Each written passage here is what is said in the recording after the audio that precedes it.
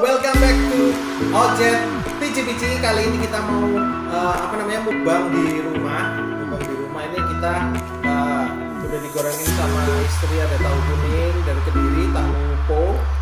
Nah terus ini juga ada favorit.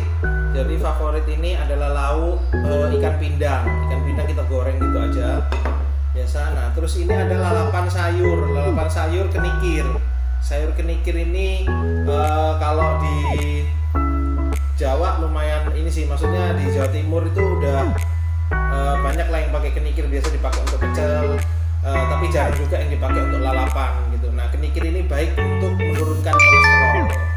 nah terus ini kita juga udah disiapin sama istri tercinta ini sambal matengan sambal matengan ya biasanya istri kalau bikin sambal matengan ini pedes banget ya karena istri ini uh, apa namanya penggila penggila apa namanya penggila sambal parah gitu jadi ya kita bakalan cobain semuanya nanti oke?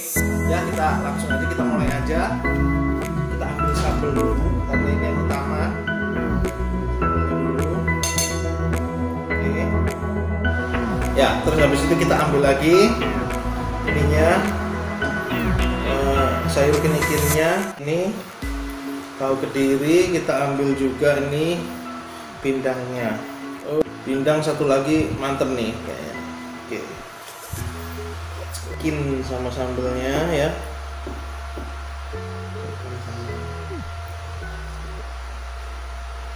Hmm.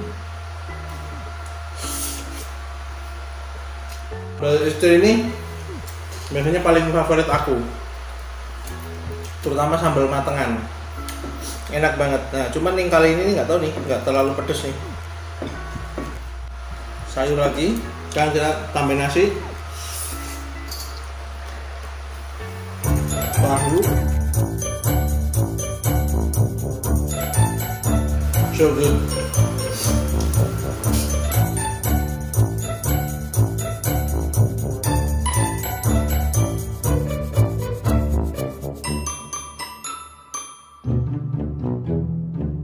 so good ini kayaknya udah tinggal dua suapan terakhir. My god. Pinggang. Pinggang. Campurin sini. Ya kan? Kita baru pakai tahu. Like this. Kayak orang Korea nih. Kayak orang Korea. Yang pakai sawi kita pakai tahu kediri oke kita masukin semua hmm. Hmm. So good. Hmm.